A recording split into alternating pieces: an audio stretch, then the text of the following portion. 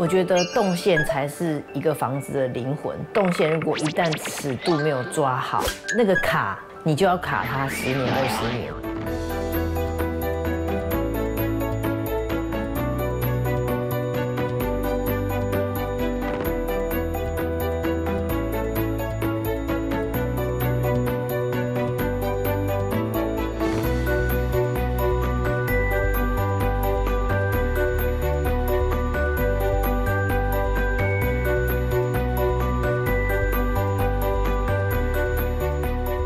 家的空间通常都会使用到十几二十年以上，动线如果取得顺畅的话，不管在里面住了多久，都可以感觉到很轻松跟很自在。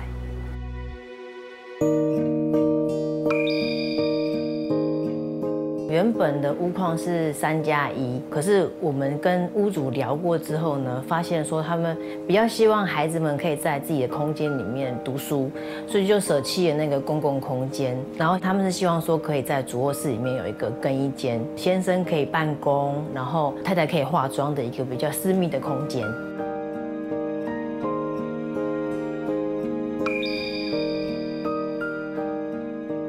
屋主他希望说有一个玄关空间，进到空间来之后，发现说这个深度这么浅的情况之下，要拉出一个玄关，如果是做一个很方正的玄关的话，餐厅这个区域会被牺牲，那整体的动线会变得很狭窄。所以在当时在发想的时候，跟业主讨论是不是可以接受一个斜面进屋的地方。那再呼应到走道这边一个斜面的展示空间兼收纳，做掉这两个比较小的空间。穿堂问题之外呢，另外一个风水就是进门尽量不要直接对到餐桌。可是，在这么有限的空间里面，如果是用一个密闭式的，直接把餐厅的视线隔绝的话，进门感觉好像直接撞到墙，很不舒服。屋主又是喜欢轻古典这种轻奢的感觉，那我想说，哎，那是不是可以挑选一支比较特殊的柱子？那跟业主沟通之后，他也很喜欢这个想法，所以让我们用在这个地方。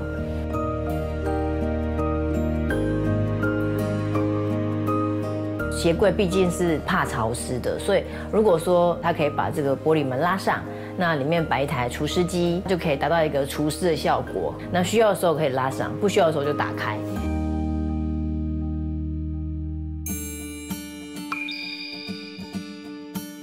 这个空间是大概二十八平，预计要容纳两大两小。住在空间里面，一定是东西会越来越多，所以当时候在讨论的时候，就是以收纳量做足。所以当时候其实我们在把这个加衣房取消的时候，在取这个电视墙深度，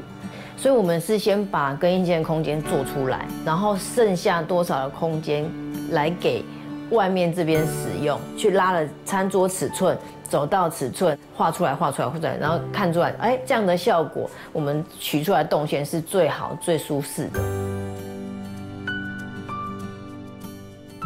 希望说更衣室里面是宽敞的，那可是又希望说电视这边、客厅这边可以再多加一点收纳空间，所以我们就把电视墙的周围都做满了收纳，点缀一些展示空间，那结合旁边的鞋柜做整体的造型。看起来会比较一致跟宽敞。刚好我们这个餐厅这一面墙是一个柱体，那业主又有一个比较大型的家具，希望说可以有地方可以放。那轻古典这种风格，如果它没有办法做到两边对称的时候，会变得很奇怪，那也不耐看。那所以当时在我们在做这两边的餐厅跟这个造型的时候，我们就特别希望。它可以收纳掉那么大家具之外呢，它又是一个对称的造型。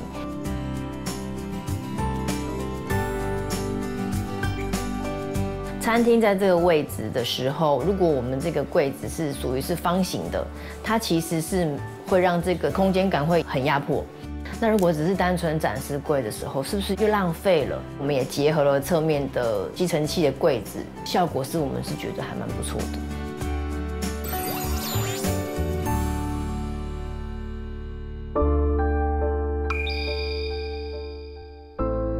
的空间，其实我们一进去就有发现到说，我们预计的床位上面是一只大梁，哦，它非常大，它有六十乘以七十。我们又不能在这个空间后面做柜子，然后往前移，因为等整个空间会被吃掉。那因为圆弧我们没有采用的原因，是因为圆弧需要的尺寸会降更低下来，所以我们就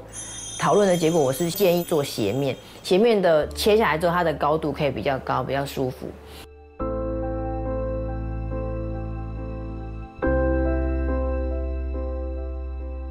这个房间也是我们女屋主选的，那她定了一个非常粉嫩的粉紫色，那所以在我们在挑选壁纸的时候也是费了一番心思，因为我们大概挑了很多本，大概有十几本，才挑到一个比较不会强调它的粉嫩，那又可以搭配它的这个色系。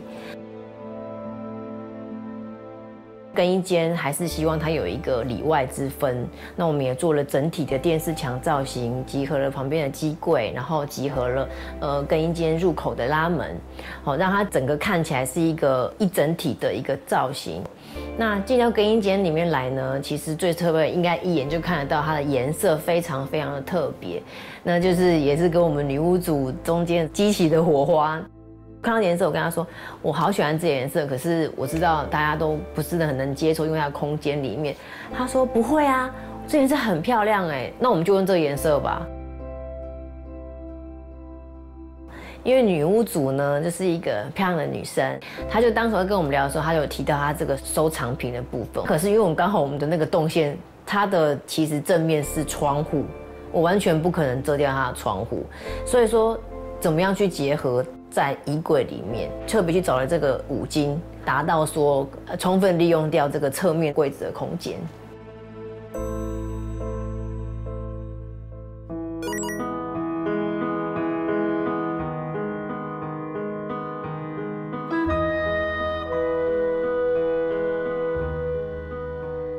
我觉得动线才是一个房子的灵魂，大家都可以做得很漂亮。可是你的动线如果一旦尺度没有抓好，那个卡你就要卡它十年二十年的。所以我觉得动线真的是